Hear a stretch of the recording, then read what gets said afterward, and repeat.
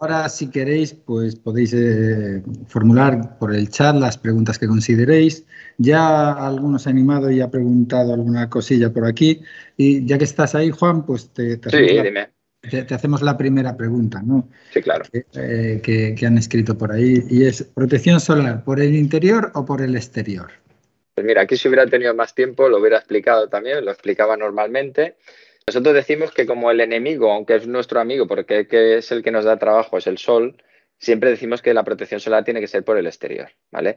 Siempre que podamos y siempre que el diseño no se vea afectado y no haya problemáticas, pues no sé, por el viento, por alguna cosa de la tipología del producto, por eso siempre intentamos pues decir a, los prescriptores que recurran a nosotros para decirles qué productos sí qué productos no van a ir y que van a ir mejor o que se van a mejor a su, sección, por ejemplo, consideramos que siempre es mejor por el exterior. Ahora bien, si no tenemos otra posibilidad y, tenemos que hacerla por el interior, como es lógico, ya tenemos el enemigo dentro, ese calor ya atraviesa ese hueco por donde ese flujo de energía puede penetrar en el edificio y se queda en el interior entre lo que es la protección solar y la fachada, muchas veces se provoca un efecto radiador ¿vale? que evita y impide que, nos podamos acercar a esa fachada. Muchas veces en las oficinas yo veo que los pasillos de, flujo de personas son justamente ahí porque ahí no se puede trabajar.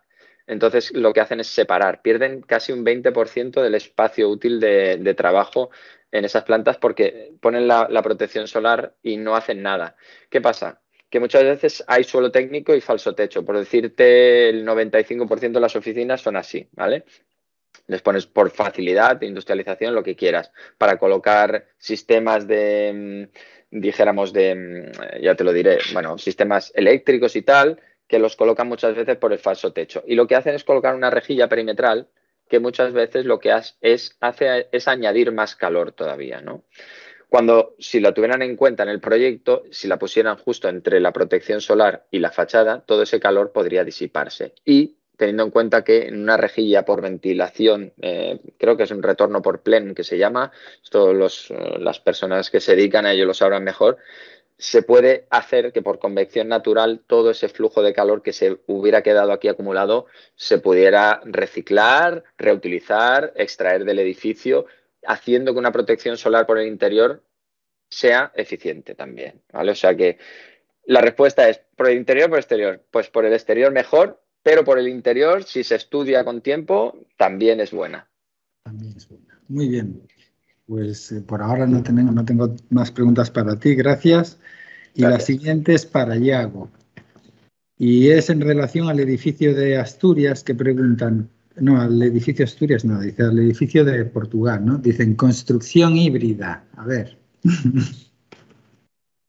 no se oye, Iago. Ahí, ya se refieren a la construcción viva de que, bueno, han mezclado en este caso elementos macizos con la madera. Por eso eh, ellos lo, anunciaban así como edificio de primer edificio de construcción híbrida de la península ibérica. No sé si se han marcado ahí un. vale, vale. Pero bueno, si entras en la página web del proyecto, lo, pone ¿eh? y se quedan tan anchos. Yo lo desconozco. Pero, un eh... losa es híbrido, ¿no? ¿Cómo? Un bungalow sobre una losa de hormigón es híbrido, ¿no? Pues seguramente también, ya te digo. Pero bueno, en este caso, bueno, también es prefabricado el bungalow, en este caso. Bueno, sí, sí. Ellos lo han anunciado así, no sé si se han sí, sí, sí, marcado ahí. Una base, claro, el tema es si tiene una base, un sello, ¿no? De construcciones híbridas. No, es, la pregunta que, nos han lanzado. Eh, después tengo para Javier acerca del EPS modificado. Muy buenas. Buenas, Javier. ¿En qué consiste el EPS modificado? Vale, el EPS al final es el aislamiento térmico eh, y el que reduce el ruido por impacto y aéreo que instalamos en ese suelo radiante, es ese aislamiento térmico inferior. Ese aislamiento térmico, aparte, lleva diferentes componentes. Uno de ellos, por ejemplo, es el grafito. Eh, es donde nosotros, aparte, también podemos incluir parte de ese material reciclado que estamos utilizando. Es un aislamiento térmico, aislamiento eh, térmico, que es donde se instala realmente ese suelo radiante, ¿vale? Ese es el panel como que llamamos in situ como tal. Y lo que hace es, un EPS para adaptarse a, las diferencias que tienen los forjados. Es decir, no todos los forjados son regulares. Eso lo tenemos claro que la construcción. Entonces necesitamos que con nuestro material, donde luego va a ir instalado un suelo radiante y un mortero, para que quede a nivel, que se adapte. Entonces es por, ese, es por eso un EPS modificado. Ya, ya. Y después preguntan por ahí también eh, acerca del techo radiante. Sí. No, simplemente dice, ¿puedes contar algo del techo radiante? Vale.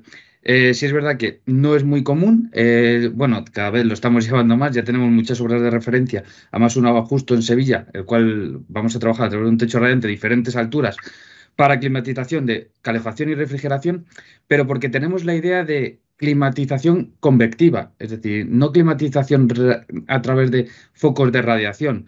Tenemos que intentar traducir cómo podemos mejorar nuestra climatización a través de elementos que producen focos de energía, como es por ejemplo en este caso el techo, que también nos puede ayudar en situaciones donde un suelo radiante pues a lo mejor no se puede instalar. Mm, pongo el ejemplo muchas veces de unas oficinas donde el suelo al final pues tiene que haber un suelo técnico, donde tenga que ser transitable. Hoy ponemos las instalaciones así, mañana cambiamos los puestos, los modificamos y al final tenemos instalaciones bajo, bajo suelo. Pues podemos utilizar ese falso techo para climatizar. Y hablo de climatizar, tanto calefacción como refrigeración, porque es crear focos de energía absorber energía cuando estamos en modo refrigeración o disipar energía en forma de calor cuando estamos en modo calefacción. Porque son, son placas como de falso techo, ¿no? Son, tenemos placas de falso techo o incluso tubería in situ que se va embebiendo en ese falso techo donde se aplica en, los diferentes perfiles de donde antes previo a instalar el, falso techo. Tenemos las dos soluciones. Muy bien, gracias. A ti. Y después para Ana, eh, acerca del modelado, ¿no? Esta, esta es mía, ¿eh, Ana? ¿Me oís? Hola, Ana, sí, te oímos.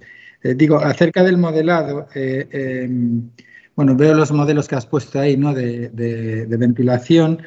Eh, y, eso, eso tenéis en la web vuestros modelos. ¿Podemos descargar esas familias? Sí, se pueden descargar, sí, sí, sí, sin problema. Pero esos, esos, que nos presentaba, ¿los hacéis vosotros o hacéis, apoyáis a los técnicos en, en el modelado? No. Nosotros lo que hacemos es eh, generar el proyecto en función de lo que nos envíe el, prescriptor, el, arquitecto, el ingeniero. Entonces, lo que hacemos es eh, generar eh, en función del tipo de proyecto y si lo quieren en CAT o en BIM, lo que comentaba antes, pues, pues ese modelo.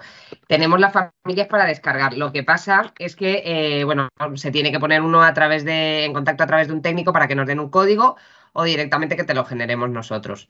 ¿vale? Modelos estándar creo que sí hay en la página para descargar, pero bueno, lo suyo es generar el estudio y hacerlo bien, José. Y con, todas las piezas y con todo. Eso es, así sacamos el despiece completo y, el estudio guay. Y, funcionan todos los conectores y todo, ¿no? Más, vale. más vale.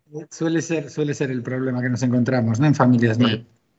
Sí, sí, Nosotros eh, tenemos desarrolladas todas las, todas las familias, cada una de las piezas que tenemos en, en, catálogo justo por eso, porque luego, a ver, eh, la ventilación es, un, es una instalación muy, muy sensible de, de, tener pérdidas, de, de, luego generar problemas en insuflación o en extracción.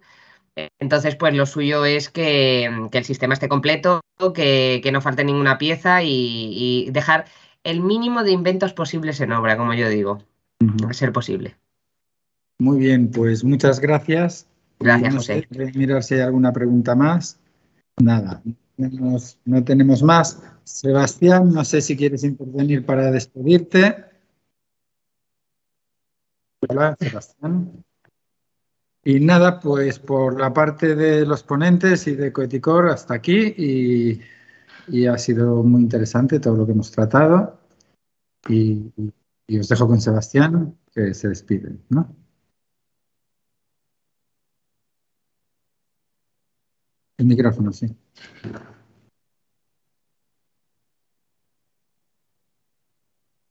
No se, oye, Sebastián. Disculpar, ¿ahora? Ahora, sí, sí. de acuerdo. pues nada, como decía, que muchísimas gracias, eh, José Luis, por, por tu colaboración y participación, al, al Weticor también y a los participantes y, y, a los asistentes, que para eso, para eso estamos aquí, para, para dar a los conocimientos que dais vosotros. Oye, nada, muchísimas gracias a todos y yo creo que ya podemos dar por finalizada la, la sesión. Muy bien, pues nada, gracias a todos y hasta Muchas gracias. Muchas gracias. Buenas tardes. Chao. Hasta luego.